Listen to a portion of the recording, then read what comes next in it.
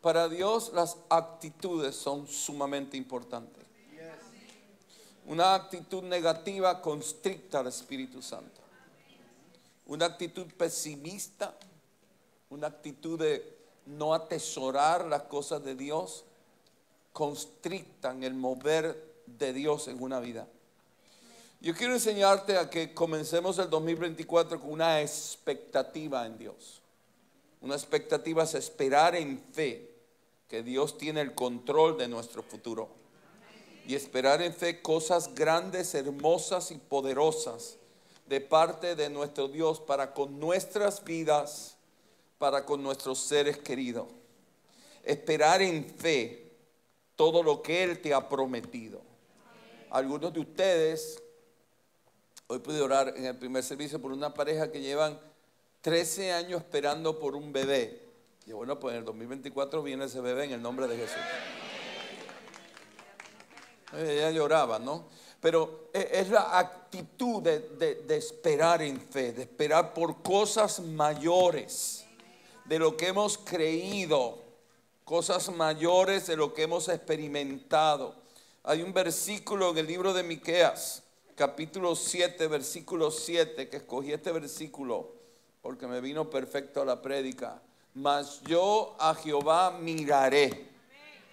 Mas yo a Jehová miraré. Mi mirada, mi fe, mi expectativa está en el Dios que no conoce límites, que no conoce lo imposible, que no conoce lo que es ser infiel Dios no sabe lo que es los límites. Cuando tú vayas al cielo, tú pregúntale a Dios, Dios, ¿qué es lo que es el límite? Él te va a contestar, ah, eso es lo que ustedes hacen. Eso es lo que el ser humano que cayó en el pecado hace. Yo no sé lo que es eso. Dios no tiene límites. Para Dios no hay nada imposible. Él no conoce lo que es lo imposible. Él no sabe de eso, no conoce eso. Solo nosotros conocemos lo que es imposible. Él no. Él no tiene límites. Y, espera lo mejor de Dios. Espera que Dios va a hacer cosas mayores de las que tú has visto. Espera que Dios va a hacer cosas mayores con tus hijos de lo que hizo contigo. Espera que sucederá en tu empresa lo que no ha sucedido hasta ahora.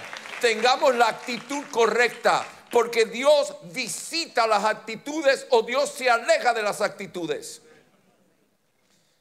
Que dice, mas yo a Jehová miraré, esperaré al Dios de mi salvación. El Dios mío me oirá. Es bueno tener una expectativa correcta de lo que Dios va a hacer. Yo no te estoy hablando aquí de una actitud positiva, el positivismo, yo no creo en eso. Yo creo una actitud de fe de que Dios, en Dios sucederá. Porque el mundo te dice ser positivo y declara positivo y es positivo toda, la vida positiva. Es una bobería. Aquí lo que cuenta es que Dios está en tu vida. Y aquí lo que cuenta es que tu fe, tu expectativa está en el Dios que es todopoderoso, que te ama y que te quiere bien.